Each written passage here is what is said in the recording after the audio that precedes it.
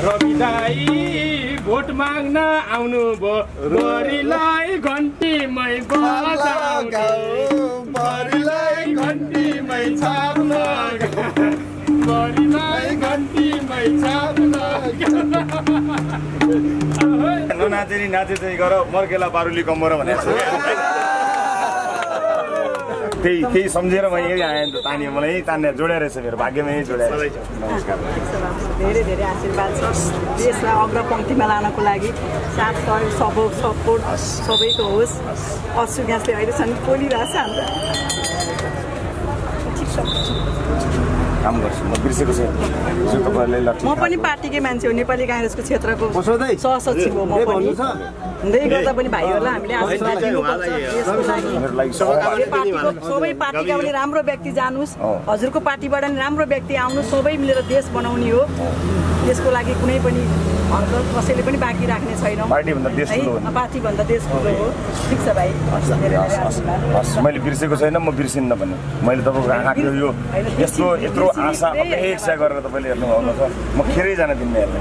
मलाई थाहा छ मेरो सामु चुनौती छ तर म गर्छु काम। हामीले पनि तपाईँहरूको पालामा त ठाउँ पाएको भए कहाँ के गरिन्थ्यो होला त्यो ठाउँ पाइएन। त्यो भएको बेला अब छोराछोरी भाइ नाति जे छन् हामीले त साथ सहयोग सपोर्ट आशीर्वाद दिने हो ठिक छ। जसरी पनि देश बनाउनलाई कोही पनि पछि हट्ने छैनौँ राम्रो कामको लागि। राम्रो कामको लागि म एउटा नेपाली काङ्ग्रेसको एउटा सही एउटा पार्टीमा भएको व्यक्तिको नाताले पनि सबै पार्टीबाट सबै जोबाट आउँदा पनि राम्रो व्यक्ति आउनुपर्छ। देशलाई अब उ अग्रपङ्क्तिमा लानुपर्ने भन्ने कुरो आशा अभिलाषा हामीले बोकेर बसेका छौँ। त्यसको लागि जहाँ जे गर्नुपर्छ हामी तयार छौँ। पार्टीको लागि पनि तपाईँहरूको लागि पनि सबैको लागि पनि हामी तयार छौँ।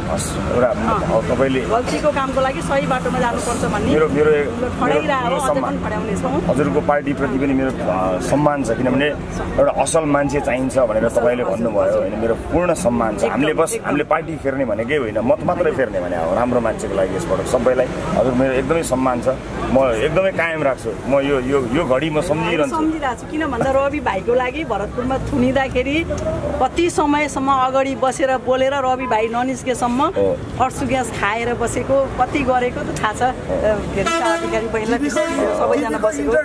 सबै। अँ। हातमा छुवा छ क्या त्यसले? हस् अनि त्यसैले त्यसै त्यसै त्यही भएर आएको छु हाम्रा। छोराछोरी पनि बाहिर छन् कोही पनि युवा। मैले त यति मात्रै राख्छु मैले पार्टीसँग पनि मैले गर्ने कुरा त्यही हो। हो। नेपाली काङ्ग्रेससँग नेकपा एमाले माओवादी जोसँग पनि मेरो मेरो सुधार एउटा देशलाई गर्नुपर्ने के छ भने बाहिर रहेका युवा नेपाल आउनु पर्यो।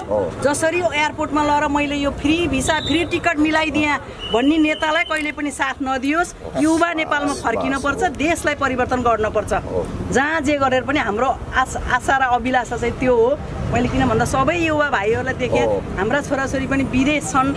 विदेश जानुपर्ने बाध्यता छ। आज स्वर्ग जस्तो देश नर्क किन भयो? र फेरि स्वर्गलाई पनि फेरि हामीले अर्को स्वर्ग बनाउन चाहिँ हामी नै जुट्नुपर्छ। सक्छौँ नि। हामी सक्छौँ। इमान्दारी मात्र त एउटा हामीले खोजेको के हो र। भएकै नेताहरू इमान्दारी मात्र भइरहेको। होइन? त्यो भएको भएर मैले कुनै पनि पार्टी सबै ठाउँलाई हामी जस्तो व्यक्तिले चाहिँ अब हामीले त्यो काम चाहिँ गर्नुपर्छ भनेर मैले फेरि पनि मेरो धेरै सम्मान अपेक्षा। आशा अपेक्षा धेरै सम्मान। हजुरलाई प्रति। हजुरले आस्था राखेको पार्टीप्रति पनि सम्मान हजुरको। विचारलाई पनि मेरो सम्मान छ। यो अपेक्षालाई म खरो उत्रिएर यो अपेक्षा पुरा गर्छु। मेरो सिङ्गो टिम यसमा लागिपर्छ हामी लागिपर्छ आम जनताको पनि त्यही आशा छ हस् लाग्छ हस्।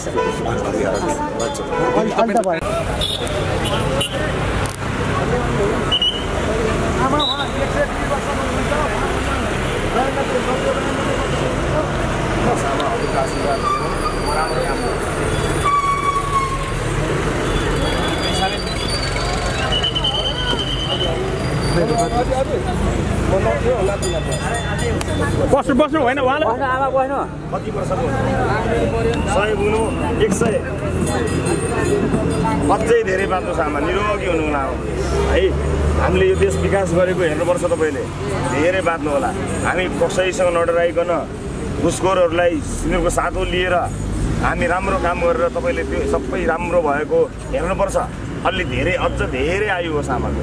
अनि हामीलाई आशिष मिलिरहन्छ नि त।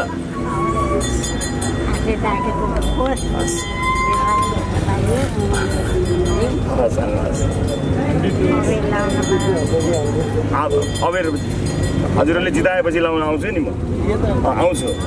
आउँछु यसै गरी भेट्न आउँछु।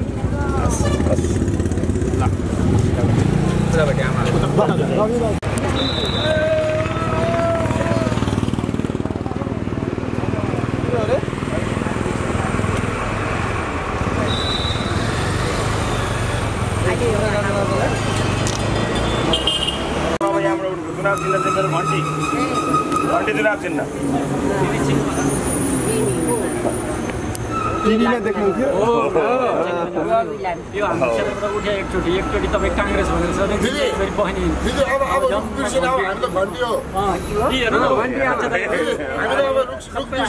हामी छ काङ्ग्रेसमा दियो तपाईँले नि एउटा भोट काम गर्छु म राम्रोसँग काम गर्छु म। म राम्रोसँग काम गर्छु। हजुरले मान्छे हामीलाई राम्रै गर्नु पर्छ है। अब यस्तो छ आमा। म हजुरले बुझेर फेरि अरूले भनेको भरमा चाहिँ हुँदैन है। अरूले आफैले यसो के रहेछ यो भनेर बुझ्नु अलि जाने बुझेलाई। यो मान्छे को हो कस्तो हो के काम गर्दो रहेछ भनेर तपाईँले बुझेर अरूले हाल्नु है हाल्नु भने चाहिँ मान्नुहुन्न आमा। है? तपाईँलाई राम्रो लाग्यो भने हाल्नुपर्छ जहिले पनि। म राम्रो काम गर्छु योभन्दा अगाडि तपाईँहरू जस्तै सबै आमा बुवा दाजुभाइ दिदीबहिनी सबको सेवा गरेर आएको हो अब फेरि गर्छु भनेर आएको छु। अनि यसो बुझ्नु पनि होला चुनाव चिन्ह मेरो घन्टी हेमा घन्टी बुझ्नु पनि? हस्।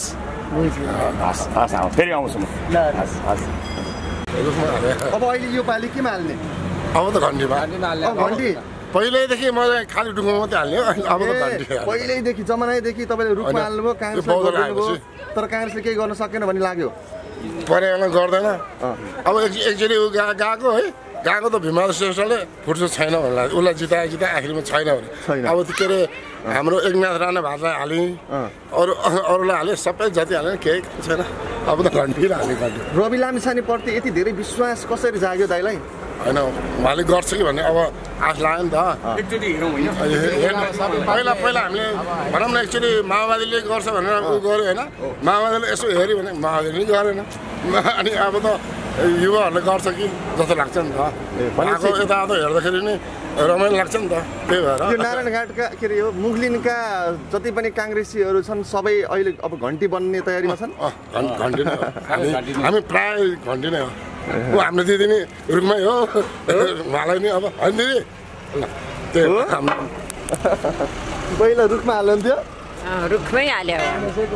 अब के हाल्ने? केमा हाल्ने? घन्टी भने छ। ल ल।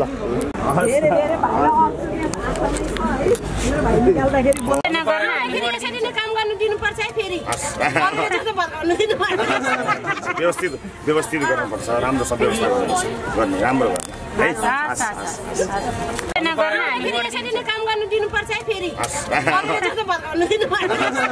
व्यवस्थित व्यवस्थित गर्नुपर्छ राम्रोसँग व्यवस्था गर्नुपर्छ। गर्ने राम्रो गर्ने।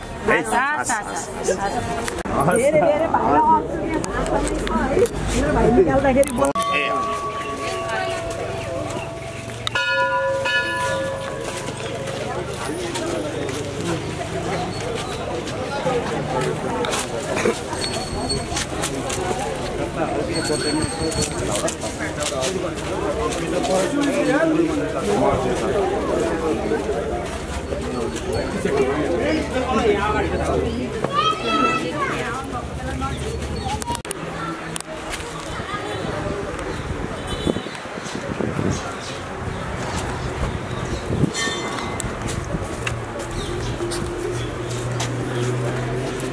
भाइ निकाल्दाखेरि ए यता यो यो मन्दिरबाट है?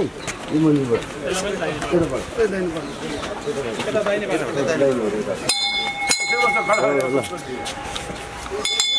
ल यता पस्नु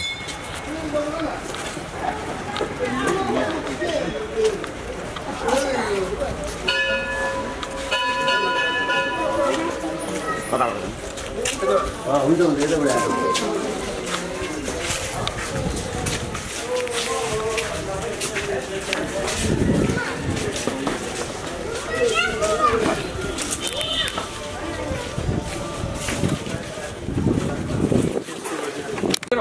होइन रवि भाइलाई भोट हाल्ने ठाउँमा आफ्नो आफ्नो ठाउँमा रहला। म एउटा पार्टीको जिम्मेवार कार्यकर्ता हुँ।